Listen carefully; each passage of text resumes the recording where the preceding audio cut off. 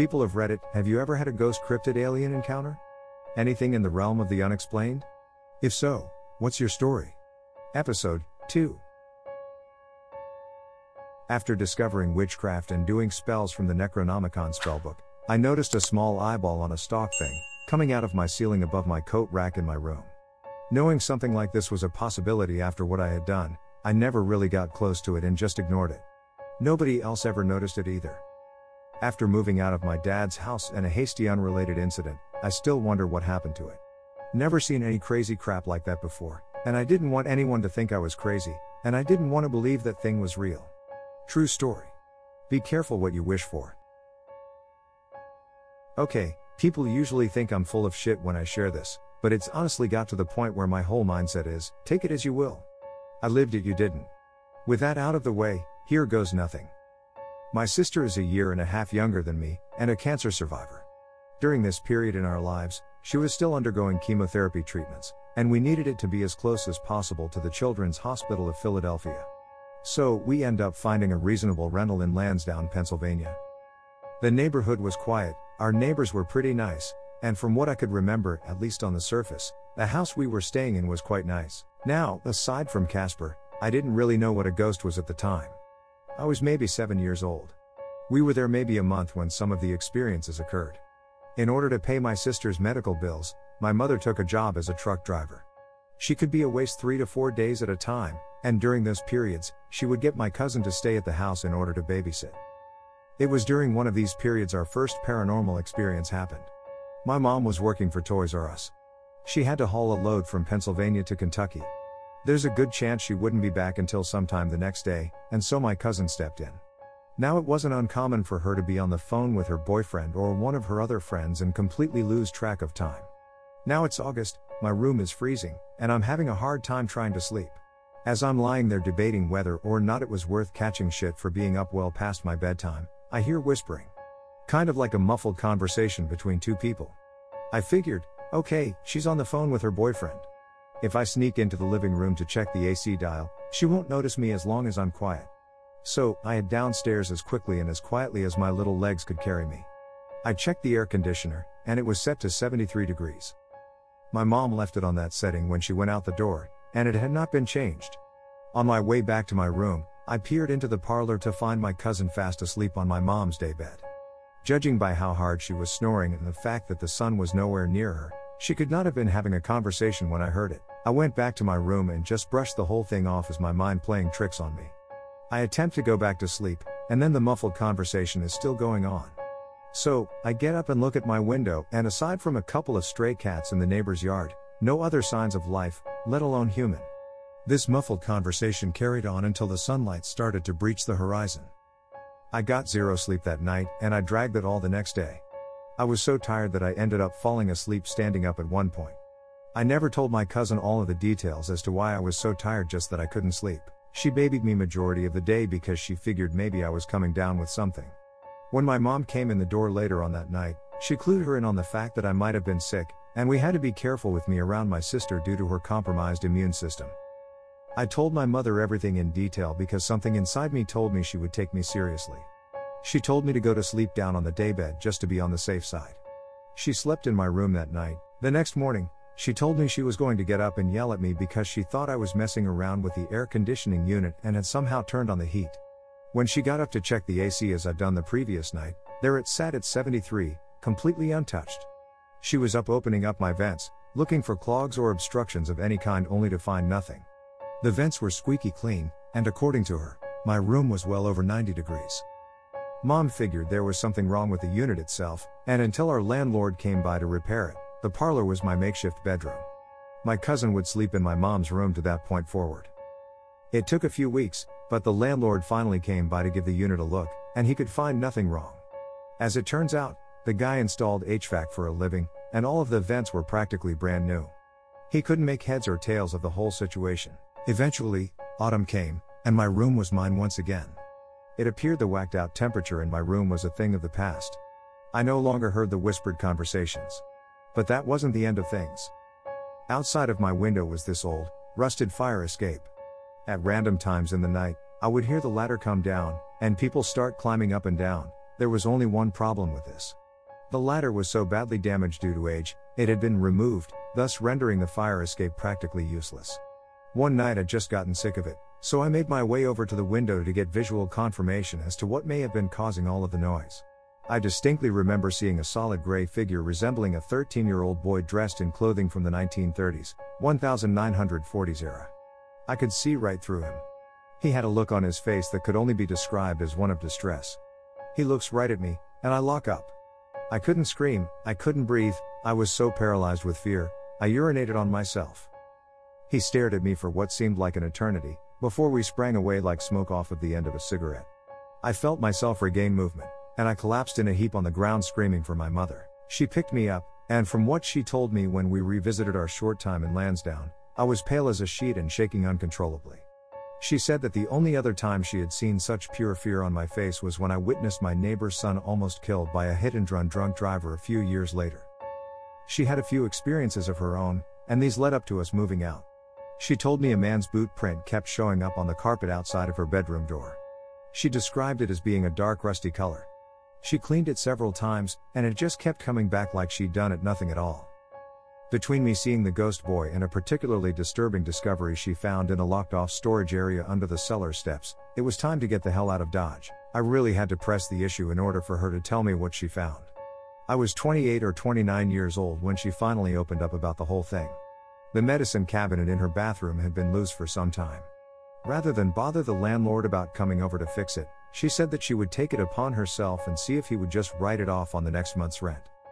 She took the wobbly medicine cabinet off of her bathroom wall, and she found a skeleton key inside an old medicine bottle.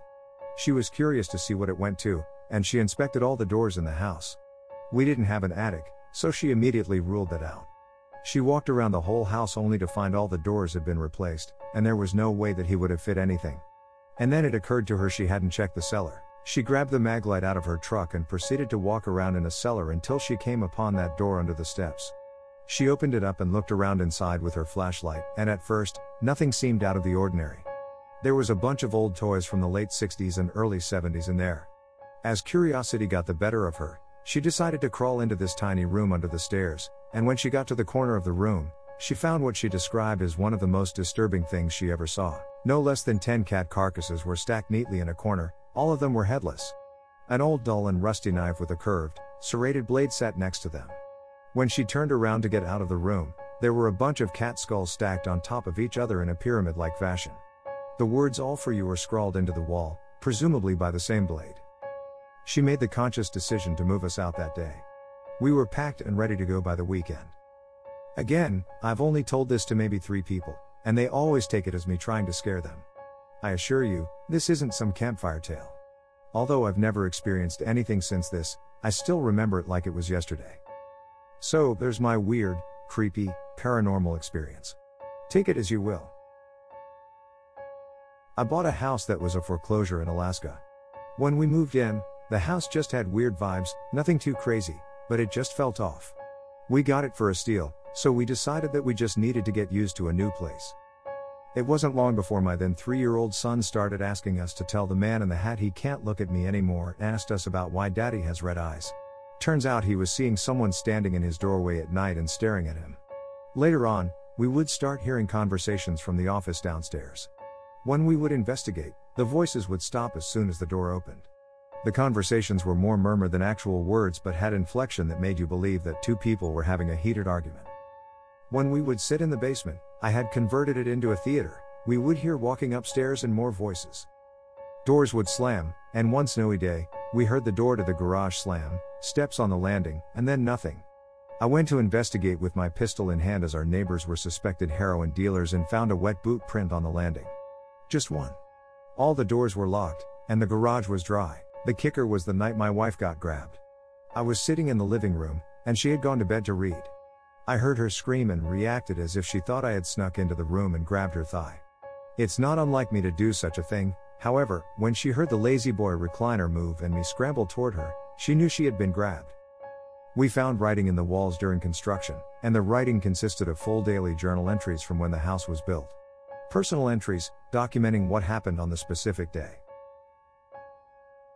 Years ago, back in my ma's house, me and my brother were chilling up in the room and heard voices coming from the back of the TV set, not very loud, and it was hard to distinguish what was being said. It was like lots of people talking in a bar. We shat ourselves and went into the neighbor's house. Haha, it was scary shit. Although I am skeptical today, I had a lot of paranormal experiences when I was a kid. It was very common to me to see ghosts, full body people, dressed in detail, only with their face blurred, vestal presences, like if they were cat or dog spirits, and voices in the radio, TV, other electronic apparels. I had also some physical episodes where something would scratch or punch doors and walls in my house. This all went away when I turned 14 and moved to another city. Found out years later, after my grandma died and my mother looked for help in a spiritual center, that my family was considered a very receptive family for spirits and ghosts. They actually offered me a spot in their religion, saying that they could train me to become active again, which I gladly denied. However, the strongest experience I had was not related to ghosts but with a UFO. It was a simple small bright spot in the sky, moving in ways that no conventional spacecraft could, especially where I live, because I know our government does not have an interest in researching such things. Also, the spirits and ghosts would happen only when I was alone, but at least three family members also saw the same thing, so I am pretty convinced I saw something really unusual that day.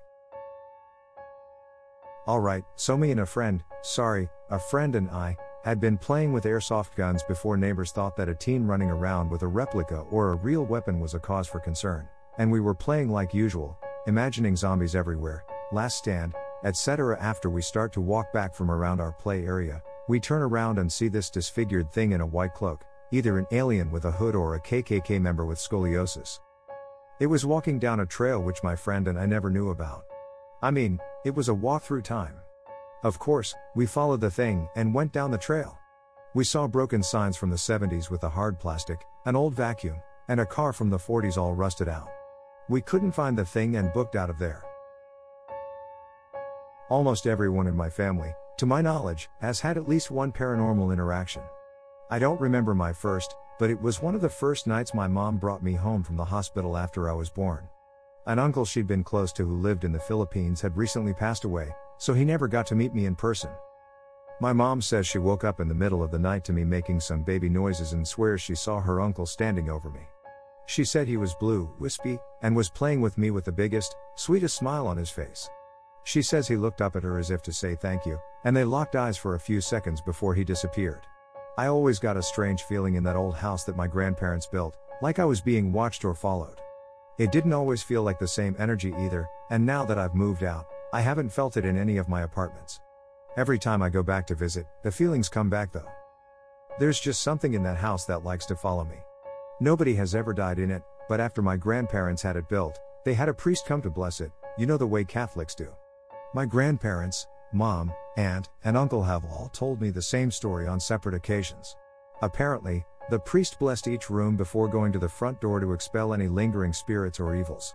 None of the windows or other doors to the house were open besides the front door, but when he gave the final blessings, a huge gust of wind came from inside the house and knocked the priest over right on the front porch.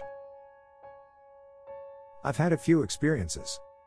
One of the first ones I've had was when I was around 9 years old.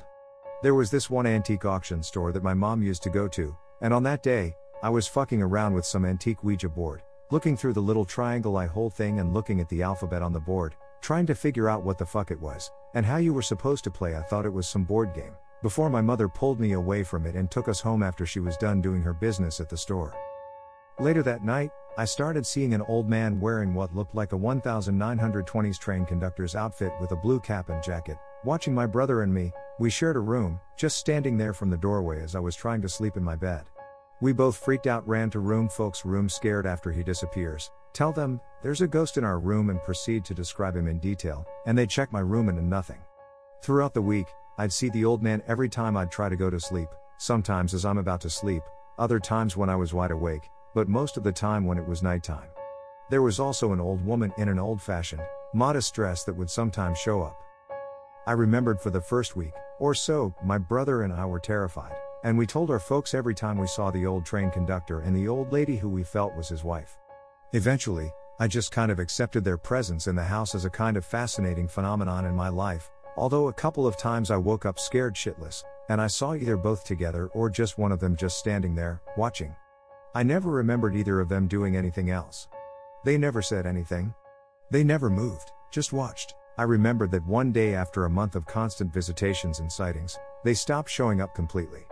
Their haunting just ended abruptly. I never saw any of them again, but I remembered waiting for two days, always keeping an eye out every night, and nothing, before asking my brother if he saw them anymore and told me the same thing, that he didn't see either of them for a couple days. We informed our folks about this later that day that we hadn't seen the train conductor or his wife for a couple days. My dad made jokes about it like always, but my mom, I remembered, was quiet. I remembered a couple years later learning what an Ouija board was, and I then remembered apologizing to my mom, telling her that I felt guilty, since I thought that it had to have been that time when I was playing around with the game board and piece a couple years earlier in the auction. Since I knew that an Ouija board was meant for contacting spirits, I thought that I had somehow brought a ghost with us that day. It was then that my mom told me a story about that day. She had bought an old, framed picture of a man in a train conductor's uniform and his wife posing in front of a train in a train station, which she thought was a beautiful picture. She put it into the storage room to try to figure out eventually a good place to put it in the house. It was that same night that my brother and I started complaining about the train conductor and his wife showing up in our room. What freaked her out about it was how accurately we described both the man and the woman in the picture since there was no way we could have seen the picture as it was covered, and we really didn't, and locked in the storage room, plus she had seen some strange things happening in the house but didn't ever tell me what happened. After a month of us complaining to her about the ghosts, she decided to donate the picture back to the auction place, and that day we stopped complaining about it, before finally, we told her that we hadn't seen the ghosts anymore.